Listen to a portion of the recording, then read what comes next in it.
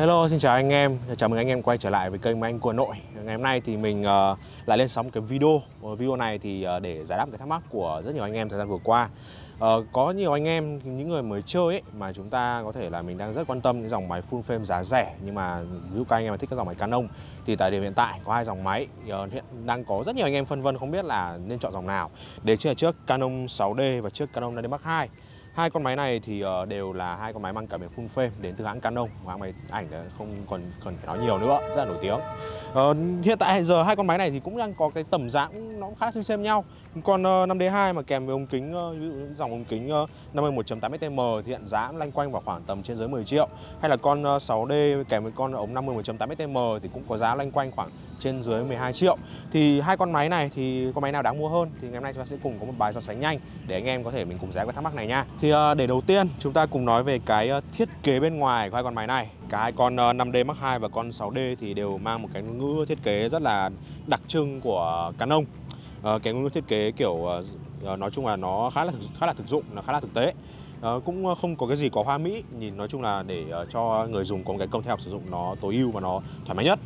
Uh, con uh, 6D con 2 thì nhìn bên ngoài trông cũng na ná nhau. Ừ, cũng uh, không không thể so sánh được là con nào đẹp hơn con nào.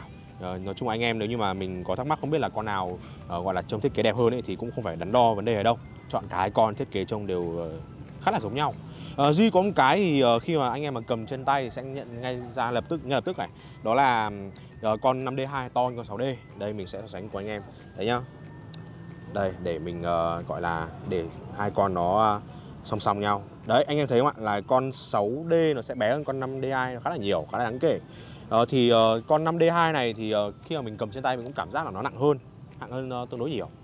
Đấy nó nặng hơn. Cảm giác cái cầm cảm giác cầm trên tay cũng cảm giác nó đặc hơn ờ, thì khi mà tìm hiểu qua chúng ta sẽ thấy rằng là con 5D2 này cái cái cái lớp vỏ magie của 5D2 sẽ dày hơn so với con 6D ờ, cái lớp khung của này này cũng ờ, được gọi là có phần gia cố phần đấy nó chắc chắn hơn so với con 6D bởi vì nếu như mà chúng ta tìm hiểu sâu một tí thì chúng ta sẽ biết rằng là cái trên cái phân khúc của máy Canon ấy thì thật ra là con 5D2 nó ở phân khúc chuyên nghiệp còn con 6D là ở phân khúc ờ, tầm trung dành cho những người kiểu như nghiệp dư hoặc là những người ờ, cận cận chuyên nghiệp ấy. Ờ, nên là cái phần gọi là cái phần vỏ của con 6D không nhất thiết phải làm quá bền bỉ nó chỉ gọi là đủ để cho người dùng cảm thấy yên tâm trong quá trình sử dụng thôi. Còn con 5D2 này thì được uh, Canon họ thiết kế là để uh, có thể mình chống chịu được những cái tác nhân thời tiết rất là khắc nghiệt để dùng có thể đem vào cái môi trường kiểu như là mưa gió thất thường thứ hoặc là đem vào môi trường mà kiểu hay gặp phải những cái va đụng thứ ấy. Mà con máy này vẫn đảm vẫn đảm bảo là có một cái độ bền bỉ nó tốt để người dùng có thể là uh, không phải lo lắng với những cái vấn đề của đánh rơi đánh rớt thứ. Ok thì đấy là nói về cái thiết kế nhá thiết kế hai con này. Còn về cái uh, giao diện thì sao? Giao diện hai con này thì uh, chúng ta thể nhìn thấy ở đây. Giao diện của hai con uh, 5D2 và 6D nó khá là khác nhau. Uh, con uh, 6D thì uh, nếu như anh em nào mà có thể trước đây mình đã từng mình từng trải nghiệm qua những dòng máy entry level của Canon thì thấy rằng ấy là cái giao diện con 6D này nó khá là giống những dòng ờ, ba 3 số và hai số cá nông ờ, đơn cử như là nếu anh em nào đã từng dùng qua dòng 60D rồi và nếu đợt này mình đang muốn nâng cấp lên con 6D này để được cái cảm biến full frame ấy thì thấy là cái giao diện của con ờ, 6D này khá là giống với con 60D. Nó cũng có cái depart này, nó cũng có cái vòng xoay này. Đấy, rất là giống con 60D à, Cũng có cái nút để mình chuyển từ chế độ quay sang chế độ chụp này Có nút live view này Nói chung là cái gọi là bố trí nút phím nút của con 6D này rất là giống với những dòng hai số Những dòng cảm biến APC Còn uh, con ờ, uh, 5D2 thì anh em sẽ thấy ở đây Giao diện nó khá là khác Nhìn nó ờ, chuyên nghiệp hơn. Ờ, ở đây thì nó sẽ được tách biệt là cái phần D-pad nó được chuyển thành làm cái joystick ở đây. Để anh em có thể là mình mình uh, mình điều hướng ở trong cái menu ở trong cái uh, những cái phần thay đổi những cái thông số thật số uh, của con máy ấy, trong quá trình mình dùng thì mình dùng cái D-pad này. Còn nếu mình muốn chỉnh nhanh ấy, thì mình sẽ dùng cái uh, cái vòng xoay này để mình chỉnh nhanh. Uh, nó cũng sẽ có một hàng nút ở bên tay uh, trái đây để anh em có thể là mình uh, thao tác bằng cả hai tay nó một cách nó tiện thao tác nó nhanh. Ờ, cái nút ờ, live view cũng sẽ được chuyển sang bên này nó không nằm bên này nữa. Thì với cái việc mà một cái giao diện nó nó nó chia làm hai hai hàng như ấy thì ờ, người dùng sẽ có xu hướng là kiểu cầm bằng hai tay này mình dùng nó nhiều hơn là với con 6D con 6D thì được cái là nó người dùng chỉ cần mình dùng bằng một tay thôi. Dùng bằng một tay là có thể chỉnh được gần hết những cái những cái um, chức năng chính của con máy. Thì nói chung là hai cái giao diện này mình không so sánh là giao diện nào tốt hơn giao diện nào. Chỉ có cái là nếu như anh em là những người kiểu mình mới chơi mình sẽ nhận thấy là dùng cái giao diện của con 6D sẽ cảm thấy nó, nó dùng nó dễ hơn. Còn nếu anh em mà kiểu là những người đã có kinh nghiệm rồi và mình có thể là mình uh, đề cao vấn đề là thao tác nhanh mình muốn uh, gọi là trong cái môi trường có thể là mình uh, kiểu như là cần phải thao tác phải chỉnh nhanh các thông số ấy thì sẽ nhận thấy là cái giao diện của con 5D2 sẽ có phần là nó sẽ giúp cho anh em thao tác nó nhanh và chính xác hơn. Một cái điều nữa cũng rất nhiều anh em quan tâm đó là cái chất lượng hình ảnh của hai con này thì nó so sánh với nhau như thế nào? Thì cái con máy thì đều mang cảm biến full frame Ờ, mùa con 6D thì sẽ có độ phân giải là 20 megapixel còn con ờ, 5D Mark II thì sẽ có độ phân giải là 22 megapixel. Nói chung là về cái chất lượng hình ảnh của hai con này thì nó cũng ờ, không có nhiều thiên lệch đâu uh, anh em nếu như mà có thể mình là người mới chơi mình gọi là đang muốn chuyển từ những dòng APS-C mà sang những dòng full frame như hai con này thì đều sẽ nhận thấy là chất lượng ảnh của hai con này nó đều nó hơn rất là nhiều so với những dòng máy ờ, APS-C Corp trước đây. uh, có một cái điều mà khá thú vị là ở con 6D này thì được rất nhiều người đánh giá là có cái uh, hiệu năng chụp thiếu sáng rất tốt uh, đơn cử thì uh, cách đây khá lâu rồi uh, thì uh, team anh của chúng mình thì cũng có thử cầm con uh, 6D này lên uh, cầu Long Biên chụp vào lúc 12 giờ đêm và mình có thử, gọi là, test một vài kiểu, gọi là, chụp thiếu sáng, điều kiện thiếu sáng hoàn toàn ấy. Anh em nào mà đã từng lên cầu Long Biên lúc buổi tối sẽ biết là tối như nào.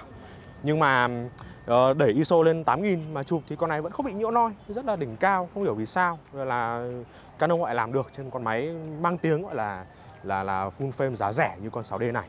Ờ, nên là đấy đấy là một cái điều rất là đặc biệt. Còn con ờ, 5D2 thì uh, theo như đánh giá thì cũng có cái hiệu năng chụp ISO tương đối tốt thế nhưng mà đương nhiên không thể bằng con 6D này rồi. Uh, đấy là một cái điều mà có thể anh em mình uh, cân nhắc trong quá trình mình uh, sử dụng mình uh, lựa chọn máy. Uh, nếu như mà anh em nào mà có thể mình uh, không biết là con uh, 6D với con 5D2 này thì uh, mang cái full frame thì nó xóa phông nhà thì mình sẽ thử. Và mình thử cho anh em xem nhé là cái lợi ích của full frame nó đem lại cho người dùng là như thế nào. Đây mình sẽ thử mình uh, chụp một bức. Uh, mở hết khẩu 1.8 ra mình uh, chụp bạn quay phim. Đấy.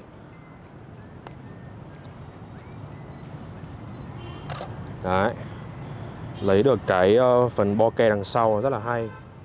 Anh em nào mà kiểu uh, mình Mình thích kiểu như là cái ảnh mà mình phải xóa phông giống như ảnh trên mạng ấy anh em hay xem lên trên mấy cái trang uh, kiểu như là nhiếp ảnh nghệ thuật các thứ ấy mà mình thích mấy cái ảnh chụp chân dung xóa phông kiểu ảo lòi mù mịt. Có mỗi người mẫu thì là còn nét còn xung quanh thì toàn là thành bokeh ấy. Thì uh, đây anh em có thể uh, lựa chọn một hai con máy này một con 6D một con 5D2 mang cả khung frame giá rất là rẻ. Bây giờ anh em sinh viên các thứ uh, chọn hai con này dễ dễ đầu tư một điểm tiếp theo cũng nhiều người quan tâm nữa là so sánh về khả năng lấy nét quay con này thì uh, như thế nào? Thì uh, mình sẽ thử mình so sánh cho anh em xem nhé là hai con này lấy nét nó như thế nào. Ví dụ như ở đây thì mình thử chụp nhé. Mình thử chụp một cái mục tiêu là đang di chuyển nhé. Hôm nay thì ở trong uh, công viên thống nhất thì cũng có rất nhiều uh, người đang uh, chạy bộ. Ống ngắm trước nhé.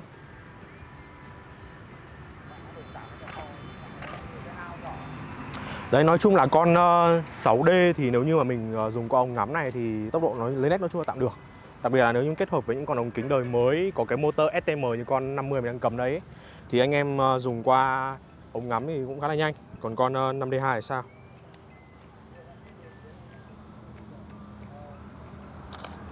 Thì uh, nói chung ấy là con 5D2 này thì nếu như anh em mà dùng với con ống đời mới kiểu như con uh, 50 này Mà mình uh, dùng ống ngắm ấy thì nó cũng cũng tạm được nhưng mà nó sẽ có một cái độ trễ một cái độ trễ mà mình sẽ nhận thấy rất là rõ rõ rệt.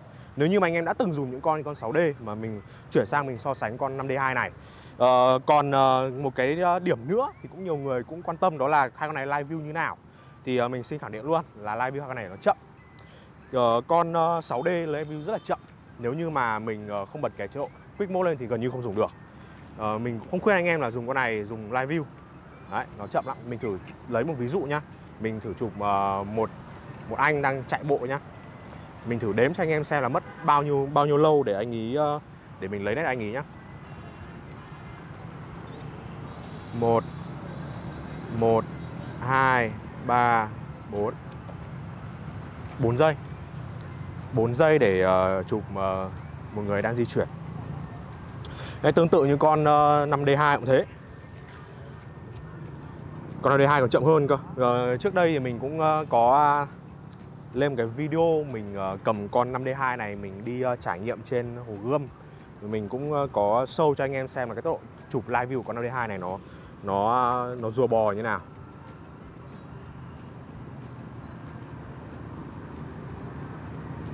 Ui rồi không không nên dùng 5D2 uh, chụp ở chỗ live view. Thật sự sẽ cảm thấy rất là rất là chậm nhưng mà nó sẽ có một cái cái con máy này nhá là đều có một cái thủ thuật rất hay là để ờ, uh, tăng nâng cái tốc độ ờ, lấy nét live view lên. Đó là bật cái chế độ quick mode. Thì để uh, mình uh, mình mình show cho anh em xem là cái chế độ quick mode này nó nó tăng cái tốc độ của mình lên như nào. Đây nhá mình chuyển sang quick mode này. Đấy. Thì uh, với cái động tác là nó sẽ co cái màn chập gương lên ấy cái màn cái cái gương lên thì nó sẽ làm cho việc lấy nhanh hơn rất là nhiều đấy chụp được cả những người đang chạy bộ. Chỉ có cái là nếu mình bật cái chế độ uh, quick mode này lên thì uh, cái số điểm lấy nét sẽ ờ, bé sẽ ít hơn cái vùng lấy nét đường nó bé đi.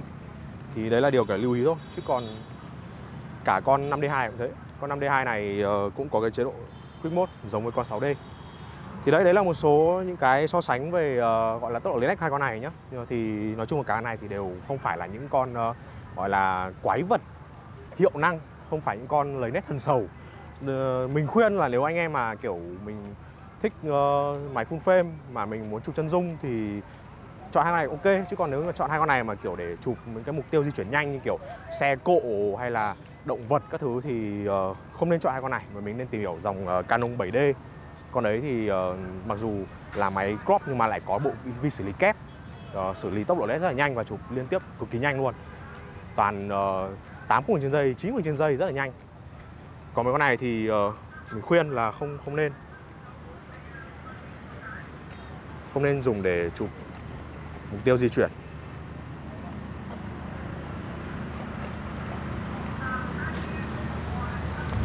Đấy thì uh, đấy là mình uh, cũng uh, làm một cái video uh, so sánh tương đối tổng thể về hai con máy này. Uh, thì nếu như là mình thì mình sẽ chọn con máy nào? Nếu như mình thì mình sẽ chọn con 6D con này thì ờ, ngoài những cái ờ, điểm nó nó sẽ có phần nó lợi thế hơn so với con 5D2 thì mình cũng xin kể luôn một vài cái điều rất thích con này đó là nó có cái kết nối wifi. Kết nối wifi thì ờ, uh, nói nhiều rồi anh em cũng hiểu là nó tiện như nào. Chuyển ảnh từ uh, máy ảnh sang điện thoại ngay lập tức rất là rất là tiện. Và mình dùng smartphone mình làm điều khiển từ xa được luôn. Một cái điểm thứ hai nữa cũng rất thích ở con uh, 6D này đó là nó dùng thẻ SD thẻ uh, SD uh, cái loại thẻ ờ, bình thông thường này này. Trong khi đấy thì con ờ, uh, 5D2 này thì nó dùng thẻ compact flat hay gọi là thẻ xếp. Loại thẻ này thì thứ nhất là nó cũng đắt thứ hai là cũng ít các cái thiết bị nó tương thích được với cái loại thẻ này. Anh em mà muốn kiểu đọc được cái thẻ này thì phải sắm ờ, cái đầu đọc chuyên dụng của nó thì thường là nó giá cao với cả nó nói chung là uh, cũng lích kích. Mỗi khi anh em mà đi đâu đi đấy các thứ thì mình lại phải đi mang thêm một cái đồ đọc thẻ dễ rơi dễ mất các thứ nói chung là mình ờ, thấy là dùng cái thẻ xếp này nó không không được tiện. Ờ, đấy thì đấy là một cái so sánh cũng ờ, khá là nhanh nhưng mà đầy đủ để cho anh em có thể là mình hiểu được là hai con này nó khác nhau như nào. Ờ, con 6D này thì nếu như mà người người dùng mới chơi ấy mà kiểu mình mình uh, có kinh phí nó thoải mái một tí mình sắm lại ok chả vấn đề gì cả. Nói chung là thời điểm này thì không không phải là một con máy quá hiện đại nhưng mà ok dùng được. Còn con 5D2 này thì thì nó gọi là gì à gọi là ai thực sự thực sự mà kiểu thích cái giá trị của con này nó đem lại như kiểu như là cái uh, cái uh, gọi là giá trị lịch sử của nó này con này là một trong những con máy mà mình uh, chia sẻ một tí nó là con máy được uh, mệnh danh là đem đến cái uh, cuộc cách mạng của cho máy DSLR con máy đầu tiên quay được video à con máy đầu tiên có hệ màu 10 uh, 15 bit này xong rồi lại còn là con máy uh, đầu tiên được uh, Ờ, những người làm phim Hollywood họ lựa chọn thay vì dùng máy quay chuyên nghiệp này. Đấy, nói chung là con này thì về gọi là cái tính uh, sưu tầm nó thì rất là hay. Nhưng mà còn về công nghệ thì đương nhiên không thể so với con 6D uh, ờ, này rồi. Con 6D này thì nó hơn mọi mặt về công nghệ rồi con 5D2. Chỉ có cái nếu như mình gọi là thời điểm này nếu như mình không thực sự mình không đủ kinh phí để mình sắm 6D thì mình chọn con 5D2 gọi là gọi là dùng được, không không không còn cách nào thì mình uh, dùng con 5D2 thôi. Đấy ok, thì còn về chất lượng ảnh thì hai con này cũng chả khác nào lắm. Cũng uh, gọi là khá là tương đồng. Thì ờ, đấy là một cái ờ, video mình ờ, so sánh hai con máy full frame giá rẻ dành cho học sinh sinh viên. Nếu như anh em nào mà có thể là mình uh, có bất cứ câu hỏi nào mình cần được uh, giải đáp thắc mắc thì có thể để bình luận comment để chúng mình sẽ rất là sẵn lòng mình giải đáp những câu hỏi của anh em nha anh em nào mà có quan tâm đến uh, hai con máy này con uh, 6D con D2 và hoặc là những con ống kính uh, 50 1.8 STM này thì uh, có thể để điều dân comment để chúng mình cung cấp những thông tin chi tiết cho anh em nha. Ok nếu anh em cảm thấy những cái video này hay những cái video một kiểu so sánh nhanh giữa những cái dòng máy này nó hữu ích thì có thể để một like một sub để đón xem những cái video của chúng mình uh, của kênh Máy Anh Cô Nội. Ok xin chào tất cả các anh em nha. Gặp lại video sau. Mình là Hoàng Sơn đến từ Máy Anh Cô Nội.